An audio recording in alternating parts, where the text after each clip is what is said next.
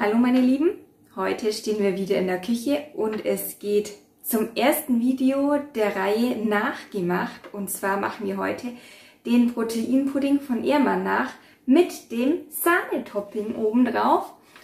Am Ende werden wir auch die Nährwerte vergleichen.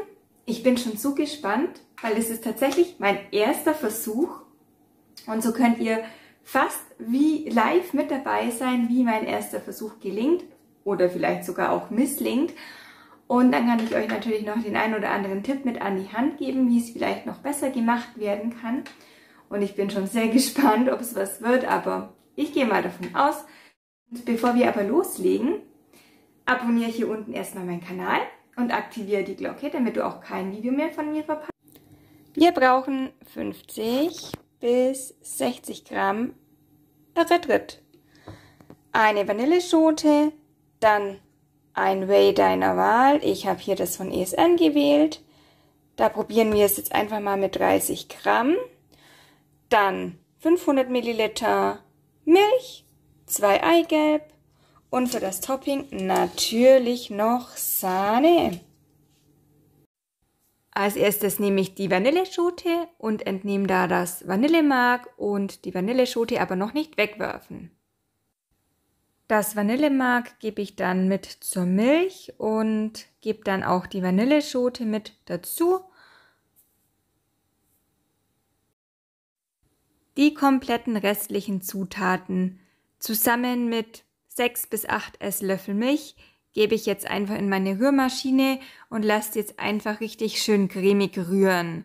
Und in der Zwischenzeit, das wird sicherlich jetzt auch 10 Minuten dauern, in der Zwischenzeit werde ich dann meine Milch einfach auf dem Herd aufkochen.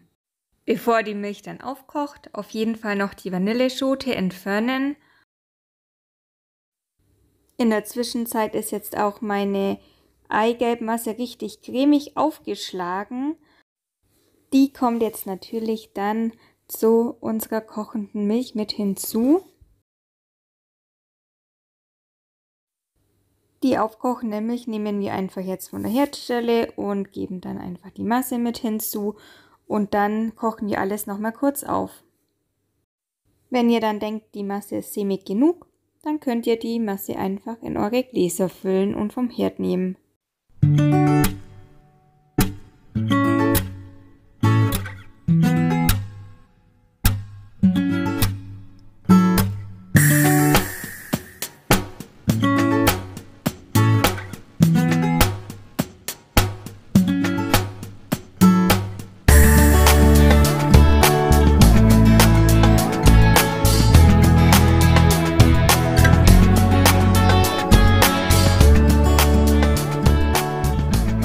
Abkühlen stelle ich jetzt natürlich die Puddings einfach in den Kühlschrank und in ein, zwei Stunden machen wir dann unser Topping oben drauf.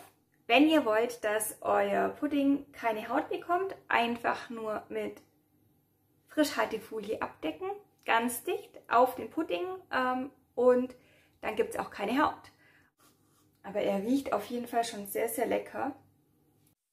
Gegen Ende der Wartezeit schlage ich dann einfach schon mal die Sahne auf, damit ich die dann sofort auf meine Puddings geben kann.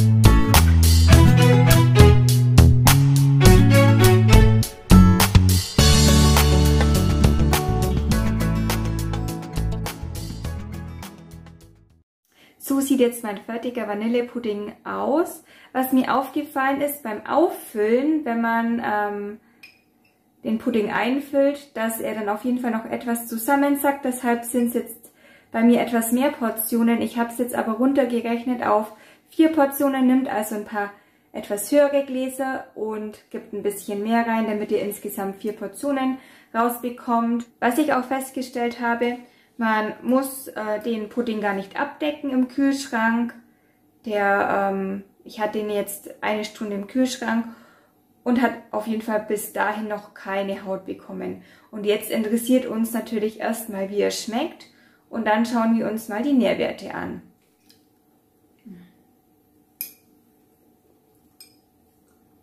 Mmh. Richtig klasse, also wirklich gut. Hier die Farbe ist jetzt natürlich nicht ganz so gelbstichig. Ähm, er schmeckt wirklich richtig fantastisch. Jetzt kommen wir noch zu den Nährwerten und ich bin tatsächlich erstaunt. Und zwar, ich rechne das jetzt einfach um auf den Becher. Also ich habe das jetzt von meinen verwendeten Zutaten durch vier geteilt, sodass ich sage, ich habe insgesamt vier Portionen. Selber habe ich es jetzt natürlich auf mehrere kleinere Portionen aufgeteilt. Äh, dadurch, dass der Pudding dann, dann ähm, dadurch, dass der Pudding am Ende dann echt noch zusammengesackt ist. Das war eigentlich nicht der Plan, aber ähm, genau, wir rechnen das jetzt einfach mal um. Portionsweise wäre das jetzt mit äh, vier Portionen, kann man das auf jeden Fall mit einem Ehrmann tatsächlich vergleichen und da sind 200 Gramm dran. Und 200 Gramm, da habe ich jetzt 162 Kalorien beim Ehrmann. Da habe ich jetzt zum Vergleich bei meinem Proteinpudding 163 Kalorien. Und das Krasse ist ja, ähm, die haben hier jetzt natürlich entrahmte Milch genommen. Und ich habe tatsächlich Vollmilch genommen. Und ähm, von daher, wenn man jetzt da tatsächlich noch ähm, Kalorien einsparen möchte und man sich in der Diät befindet und sagt, okay, mir kommt jetzt wirklich auf jeden, jedes Kalorien an, dann kann man natürlich hier auf, hm, auf eine fettreduzierte Milch oder auf eine entrahmte Milch tatsächlich auch zurückgreifen und dann sind die Nährwerte natürlich noch besser. Fett haben wir hier auf 200 Gramm 4,6. Da bin ich jetzt bei meinem natürlich mit der Vollmilch bei 11, bei 11,4. Wie gesagt, wenn ich Magermilch nehme, dann ähm, kann ich das da natürlich dadurch auch reduzieren. Aber in der kohlenhydratreduzierten Ernährung geht es mir ja hauptsächlich darum, die Kohlenhydrate niedrig zu halten und weniger darum, ähm, die Fette einzusparen, weil irgendeinen Energieträger braucht der Körper ja und das ist in der Low Carb Ernährung einfach das Fett. Aber wie gesagt, da kann man natürlich an der Stellschraube auch noch etwas schrauben. Kohlenhydrate habe ich hier auf 200, sind wir bei 10, da sind wir bei mir, bei meinem, circa bei 6,6. Bin ich auf jeden Fall dann besser. Eiweiß habe ich beim Ehemann 20 und, und bei meiner Variante habe ich 12,8. Man kann bei meiner Variante dann natürlich noch etwas mehr Proteinpulver mit eingeben, dass ich dann auf jeden Fall auch auf einen erhöhten Proteinwert noch komme. Aber letzten Endes bin ich mit dem Ergebnis schon sehr zufrieden. Und wenn man sich denkt, von, und wenn man jetzt wirklich mal die Kosten anschaut zum Vergleich, ich meine, ob einem jetzt das tatsächlich wert ist, 1,29 kostet er, glaub, ähm, wenn es mich jetzt nicht täuscht, das auszugeben. Oder ich mache wirklich äh, vier Portionen für ähnliches Geld. Und es ist halt eigentlich wirklich nur ein kleiner Zwischensnack. Und es schmeckt auf jeden Fall mindestens genauso gut. Wenn dir das Video gefallen hat, dann gebt dem Ganzen einen Daumen nach oben und wir sehen uns dann hoffentlich beim nächsten Video wieder. Tschüss!